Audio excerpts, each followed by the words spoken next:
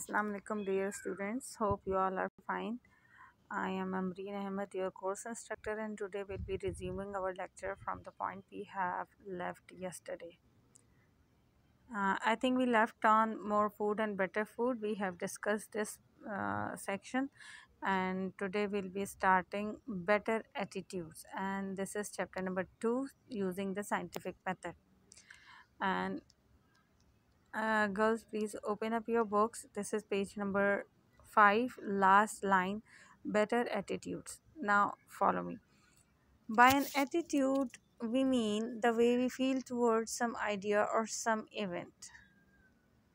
Now the writer is saying that what attitude is. According to the writer attitude means our behavior towards any idea or towards any event for example how do you take certain events how do you react to them how do you perceive certain ideas and how do you react to those ideas behaviour basically क्या होता है attitudes क्या होता है कि लोग किस तरह किसी भी इवेंट uh, को किसी भी वाक्य को परसीव करते हैं किसी भी वाक्य को किस तरह परखते हैं या किसी भी आइडिया को किस तरह जांचते हैं that is attitude now If a person believes that wearing some kind of charm will prevent him from having bad luck, he will wear the charm and will feel uncomfortable without it. Now, for example, uh, what is attitude? Attitude is that, or behavior is that, uh, if you believe that uh, certain kind of charms. Now, charm here means taviz type चीज़ें जो होती हैं तावीज़ गंडे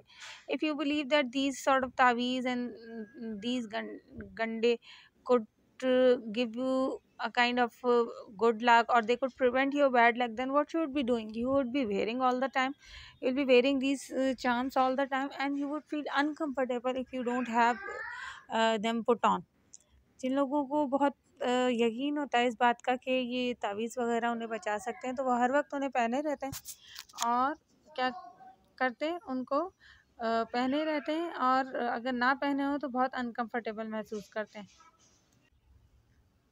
Feelings which involve fear, such as this, are called superstitions. Now, writer is saying these kind of feeling or these kind of fear which uh, we have uh, about supernatural things, these are called superstitions. Superstitions mean वहम होना, तोहमात में पड़ जाना। जैसे आपने कोई चाम पहना हुआ है तावीज़ पहना है किसी लक के लिए और किसी दिन आपने वो तावीज़ आपसे गुम हो गया या आप नहीं पहन पाए तो अब अगर खुदा ना खास्ता आपके साथ कुछ बुरा हो गया या नहीं भी हो तो आप ये ये हर वक्त इस खौफ में रहेंगे कि बिकॉज़ मैंने वो तावीज़ नहीं पहना हुआ है तो मेरे साथ ये हो जाएगा या ये हो जाएगा। तो writer is saying that these kind of fears and these kind of opinions these are card superstitions वो कहते हैं, ये सब चीज़ें तोहमात होती हैं। Superstitious people superstitious people believe in science of good और bad luck and their life are greatly influence by such science जो सुपरस्टिशियस पीपल होते हैं, जो वहम करते हैं लोग क्या तोहम परस लोग होते हैं तो they believe on good and bad luck आप देखें ना, हमारे यहाँ भी अक्सर हमारी सोसाइटी में इन आवर सोसाइटी और especially in rural societies they is superstitions concept are very very common for example if if a black cat crosses your path you believe that something bad is going to happen इसी तरह they believe that thirteen number is unlucky और they say that don't sweep your like homes after the मगरब it creates और it brings bad luck and then there are number of others too बहुत सारे uh, जो वहम है वो हमारे यहाँ हमारी सोसाइटी में भी पाए जाते हैं और लोग इसी तरह तो बिलीव करते हैं कि अगर ये हो गया है तो ये अच्छा साइन है ये एक अच्छा शगुन है ये हो गया है तो ये एक बुरा शगुन है। और उनकी ज़िंदियाँ जो होती हैं, क्योंकि ज़ाहिर उनका एटीट्यूड ऐसा, उनके आइडियाज़ ऐसे हैं तो उनकी ज़िंदगी को भी बड़ा इन्फ्लुएंस होता है। For example there is a very funny sort of superstition which occurs even in our family they don't do their laundries on Thursday I don't know why कुछ लोग ऐसा बिलीव करते हैं कि जुमेरात को कपड़े नहीं धोने चाहिए and if you do this it will bring some kind of bad luck तो ये हमारी ज़िंदगियों को भी असर करता है। अब बेशक आपको थर्सडे को जो चाहिए हों कपड़े लेकिन आप वो कभी भी नहीं धोएँगे। ये तो एक बहुत छोटी सी मिसाल है। बहुत बड़े तरीके से भी बहुत graver they these issues these superstitions effect your life in in grave manners Superstitious, uh, superstitious beliefs are being overcome by using the scientific method to demonstrate that there is no sound basis for them.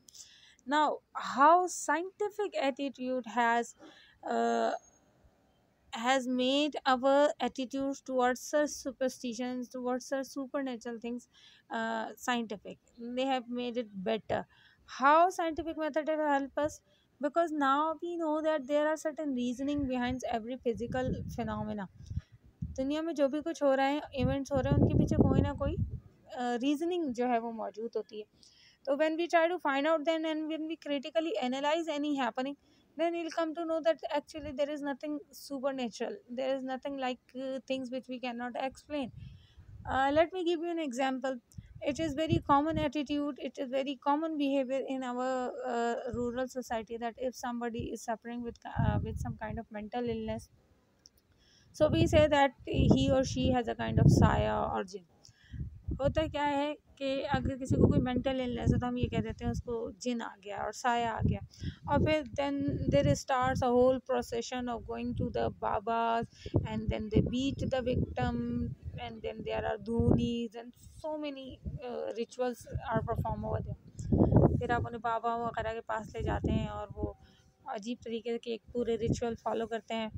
लेकिन उसका कोई फ़ायदा नहीं होता। Why because they do not trace the cause of this ailment. Now because of the scientific method now in today's world because of the scientific discoveries or the scientific advancement we know that these sort of uh, behaviors are actually certain mental diseases. These could be schizophrenia so that is why we don't say that they have jinn or saya rather we say that no they have certain kind of mental illness so uh, just like our body gets uh, ill so our mind could also get ill so we should go for the treatment of uh, the diseased mind तो इसी वजह से अब हम बाबाओं वगैरह पे ज़्यादा believe नहीं करते साइंटिफिक मेथड की वजह से लेकिन अनफॉर्चुनेटली हमारी सोसाइटी में क्योंकि इतना ज़्यादा अवेयरनेस नहीं है या एजुकेशन का रेशो इतना ज़्यादा नहीं है तो हम, हमारे यहाँ आज भी लोग इन्हीं चीज़ों पर बिलीव करते हैं। Though astrology and fortune telling are still practice आज भी एस्ट्रोलॉजी जो fortune telling they they are being practiced. Now what is astrology?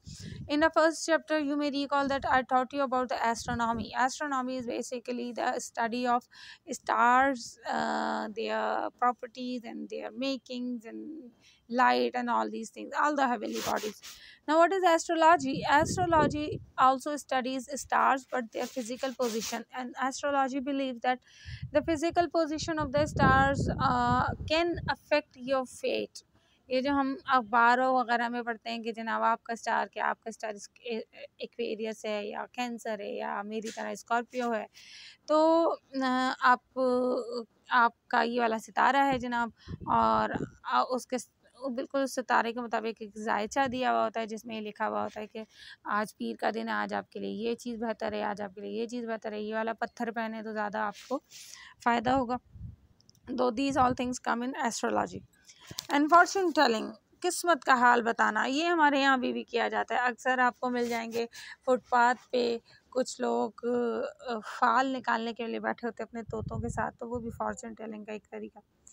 They do not influence the life of as many people as they once did. Now the writing writer is saying that though agarcha these practices are still common but they are not affecting the life of the people very much or in a great number as compared to the previous days. In previous days because people did not have any scientific knowledge and they did not know that what could have been could have been the reasons behind such, such ailments of the mind. So they used to believe on certain uh, on these sort of superstition. But nowadays though this practice is still there but there are less number of people who followed it. Okay? As a uh, uh, it has been learned that there is always a good natural reason for everything that happens to two people. This is what I have just talked about.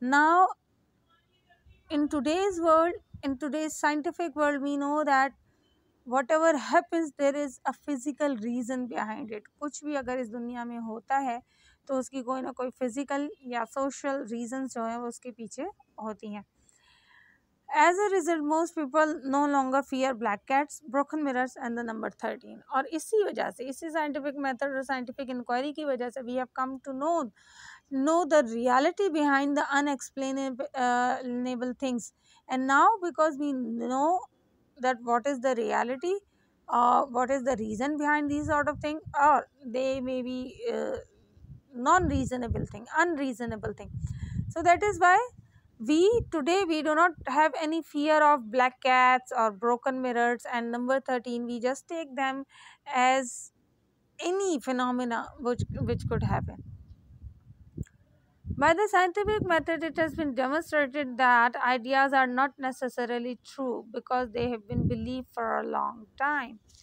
Now, very important point has been raised by the writer. Writer is saying that scientific method has told us that any idea could be proved wrong.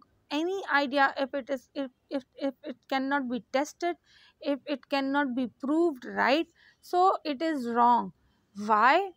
because it cannot be proved right or it it do not stand the test of or the parameters of science so just by saying that because uh, we have this belief we have been having this belief since centuries uh, it doesn't mean that this belief is right आप देखें ना हमारे घरों में भी अक्सर जो beliefs होते हैं हम उनको यही कहते हैं ओह भाई बड़े बूढ़े हमारे ऐसा कहते थे तो बिल्कुल ठीक है या हमारे यहाँ बहुत अरसे से ये बात चली आ रही तो ये बिल्कुल ही ठीक होगी ऐसा नहीं है, बल्कि अब because of the scientific method we analyse the thing critically हम हर चीज़ को तनकीदी नगाह से देखते हैं और फिर हम देखते हैं कि वो ठीक है या गलत है। They are more willing to look for new true than to assume that what has been consider true will always be true nowadays, people are actually very much willing, rather enthusiastic to probe into the matters and to dive deep and take out the reality outside. आज के दौर में आप किसी भी शख्स को कोई बात कह दें वो ऐसे ही उसको एक्सेप्ट नहीं कर लेगा। बल्कि वो क्या करता है, वो नए नए सच को तलाश करने में उसका इंटरेस्ट है और वो जब उसको स्टेटमेंट दी जाती हैं तो वो कोशिश ये करता है कि उन स्टेटमेंट को क्रिटिकली एनालाइज करे और उसमें से सच्चाई जो है वो तलाशे। और ये सब किस वजह से हुआ? ये सब साइंटिफिक मेथड या साइंटिफिक स्पिरिट जो एक हमारी नॉलेज गेन करने के तरीक़ार में आ गई है, उसकी वजह से हुआ। Because people have had to change their old ideas as a result of new discoveries made by scientist they are less likely to accept conclusion as final very beautiful aspect of science science और any knowledge scientific knowledge they say that these could be improved more. ये हर पे आखिर नहीं है। मतलब एक एक चीज़ proof हो गई, वो तो खैर एक अलग ही बात है। लेकिन अगर आप फॉर एग्जांपल कोई थ्योरी है थ्योरी ऑफ़ रिलेटिविटी है, या अभी, इनमें भी बहुत से लूप होल्स हैं, ये मज़ीद ठीक हो सकती हैं। बिल्कुल ऐसे ही है। जैसे साइंस राइटर कह रहे हैं कि साइंस क्या करती है? वो आपके ओल्ड आइडियाज़ को चेंज कर देती है और आप उनको नए आइडियाज़ से बदल देते हैं।